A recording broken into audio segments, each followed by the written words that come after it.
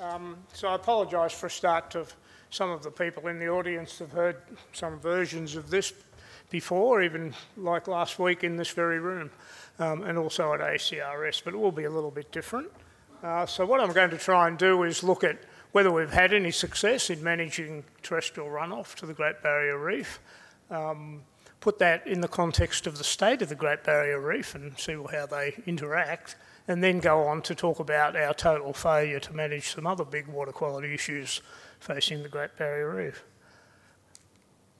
Um, you all know that long ago, a couple of hundred years ago, the uh, Great Barrier Reef catchment, which we see here, um, was well forested, green, the colour there, um, but now much of the vegetation cover's gone and um, ch or changed rather, and uh, that's been replaced by rangeland grazing, that buff colour, sugarcane along the coast, grain cropping and cotton cropping down here, horticulture, which you can't see at this scale, urban areas, which you can't see at this scale, and coal mining now, which you actually can see at this scale nowadays. It's got so big, but I haven't put it on there. Uh, we need to do that sometime shoot, to actually see the massive area of coal mining that's now happening.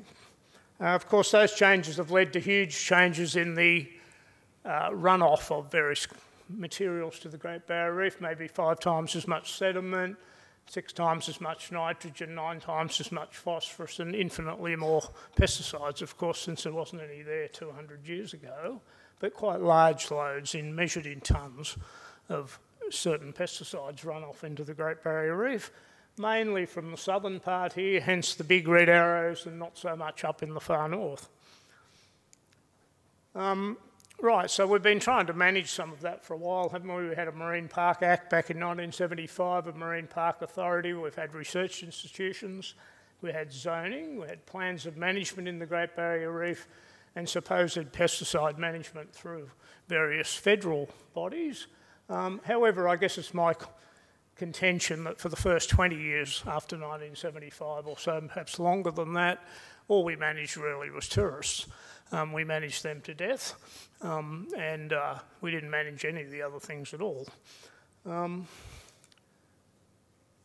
one of the things we should have, perhaps should have been managing was water quality, of course, but we were doing some research a very long time ago when we had consensus statements, we had water quality action plans. We did manage sewage on resort islands out in the Great Barrier Reef because we had the power to do that in the early 90s. Um, finally, we did get together a reef plan to manage water quality in the Great Barrier Reef by about 2003, so you'll see that's about 25 years to get there.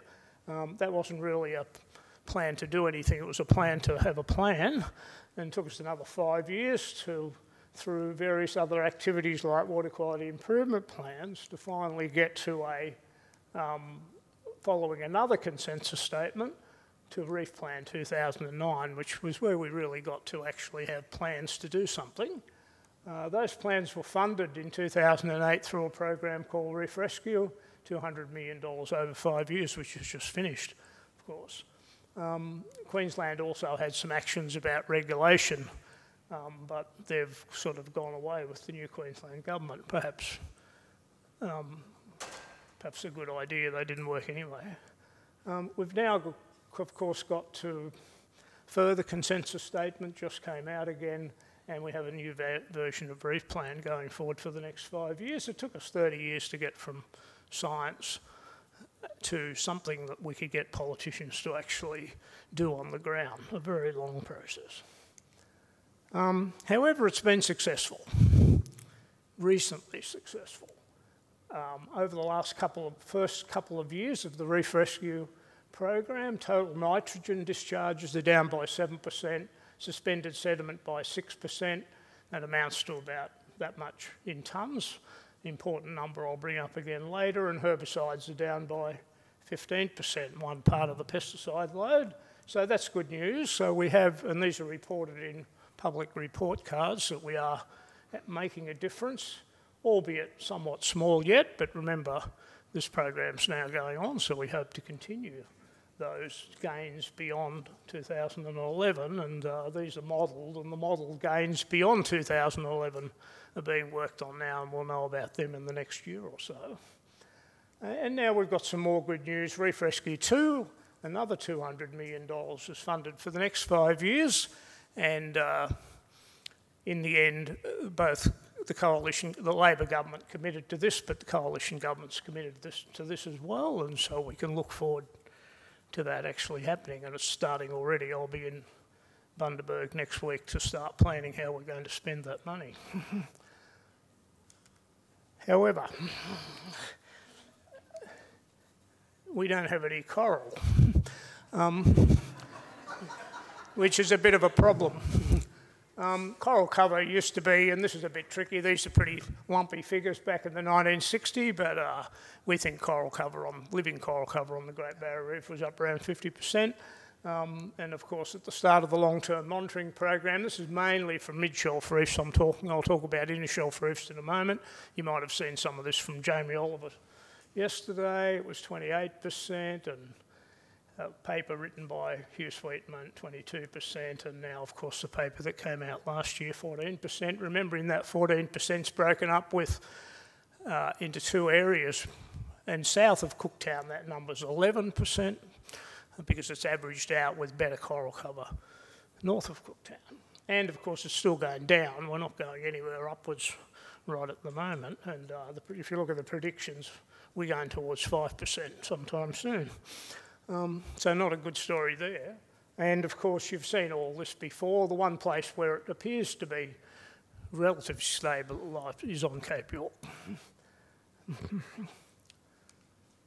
um, inshore reefs, and this data's not all published yet, but Jamie might have shown some of it yesterday, I'm sure.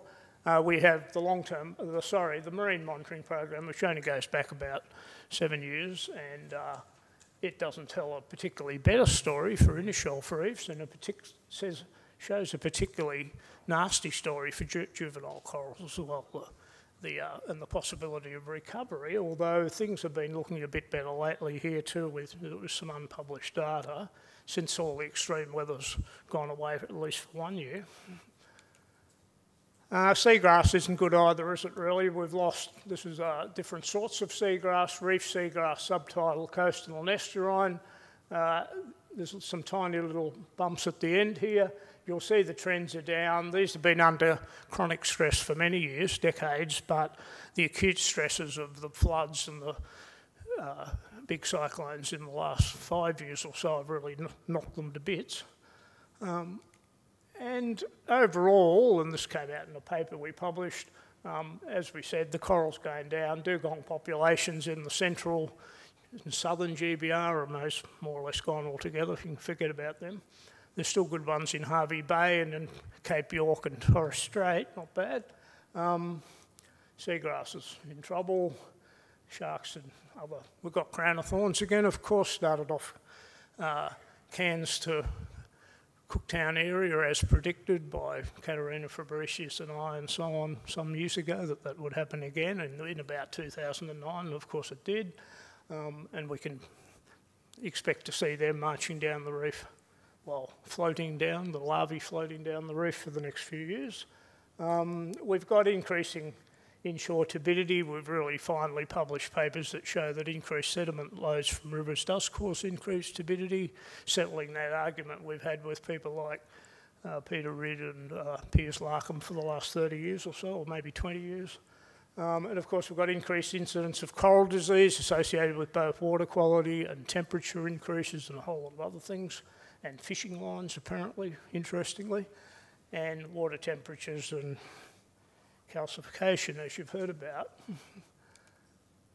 So we put together the new consensus statement. I think just read this part here, GBR ecosystems declining trend and condition due to continuing poor water quality and the cumulative impacts of climate change and increasing intensity of extreme events.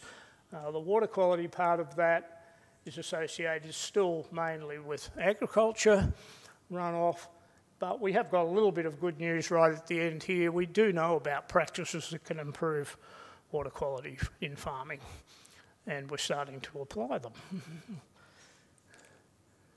Um, just a bit about the big flows. These are river flows from the Normanby River in the north to the Burnett in the south. Um, I've only tacked on the last bit here, which is this year, but we've had an area here in the southern Great Barrier Reef over the last seven or eight years where we've had just massive flows. The red numbers mean more than three times the mean annual flow in that year, and so on for the two times, I think, or whatever, and the yellow between one and two times.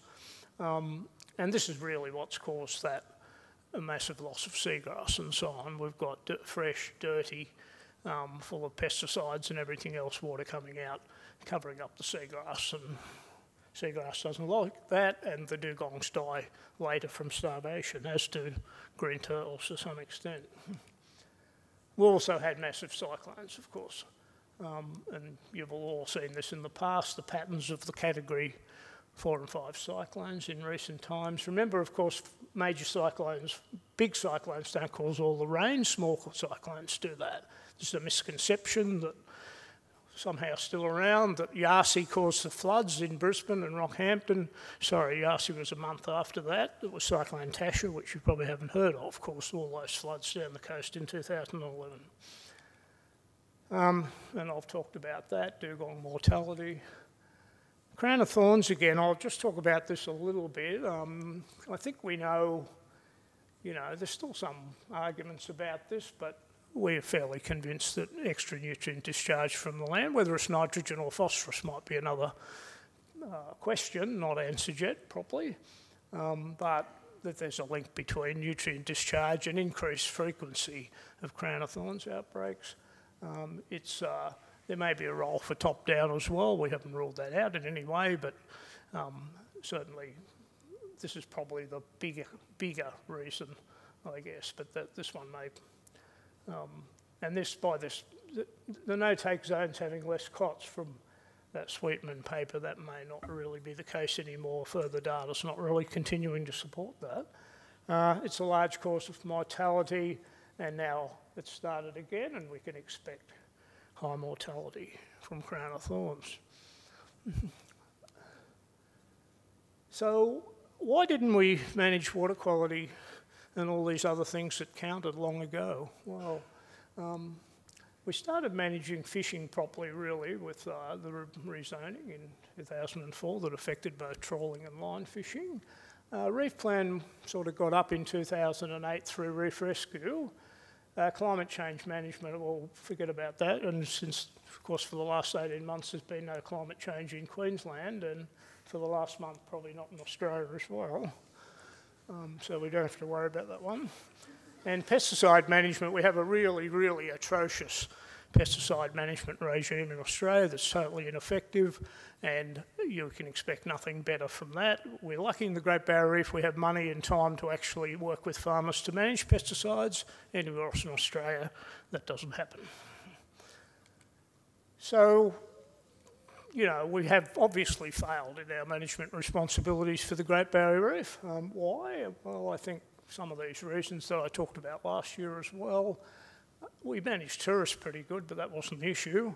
Fisheries very recently, um, terrestrial runoff recently, pesticide management still not very well, uh, climate change not at all, and now, of course, we have massive coastal development going on, and there's no way one could ever say that's being managed particularly well, and Gladstone surely the uh, wonderful example of how not to do it. Um, all this takes a long time, and I just wanted to make that point there again. To get to consensus, to get politicians to act, um, takes a long time, and you need special people again, leaders. We were talking about leaders before.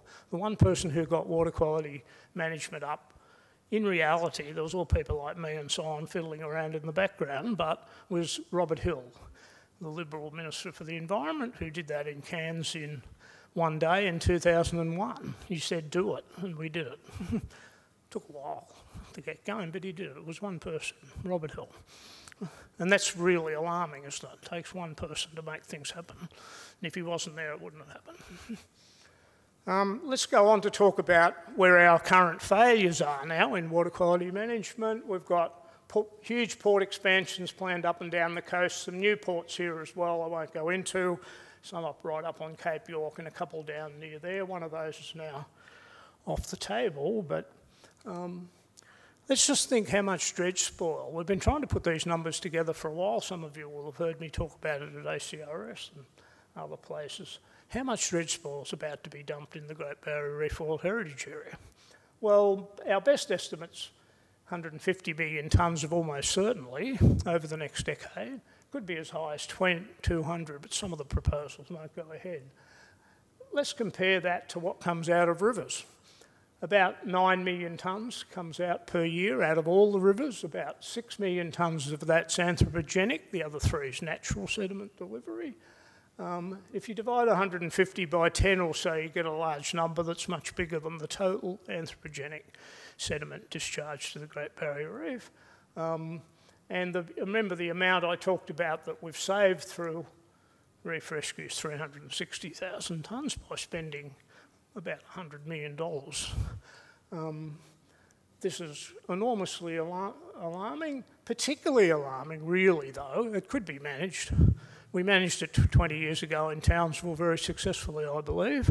Um, however, our government's arrangement now are inadequate and corrupt, basically. And I mean the process is corrupt. I don't mean the people are corrupt, but the process is corrupt. And you all know what that's about. I won't even explain it. You can ask me if you like. And we put out some papers describing how that could be done better. um, but at the moment, it's not. And here's some spoil amounts. You can, at, at all the amounts, I've turned cubic metres into tonnes, and the probability of it going ahead, some of it's underway already in Gladstone, and the others are still highly likely to actually go ahead. Um, so what's the future hold for the Great Barrier Reef with respect to water quality management and the thing? Well, it's not good, is it really? We're having, you've heard about this, we're having increased rainfall intensity. We think that's really happening already and more frequent flooding, therefore, and more intense cyclones. Not more cyclones, but more intense ones, and other, other, the other obvious things going on. Um, and so I guess my conclusion really is, is that uh, in the face of more crown of thorns starfish and bleaching and extreme weather, increasing coastal development, it's not good, but we can keep doing some things. And so terrestrial runoff management, which I hope to spend at least another year or two helping to do, we can do it. We can enforce the zoning. Starting to have some effects on something other than fish now, so I hear, on coral disease through um, a lack of coral disease in green areas where there's less fishing line damage to the coral, quite wonderful. Um, and of course, this one here would be nice to do something about as well, a much harder task though, given the huge about billions and billions of dollars involved in coal and coal seam gas export. and I might finish there. Thank you. Thank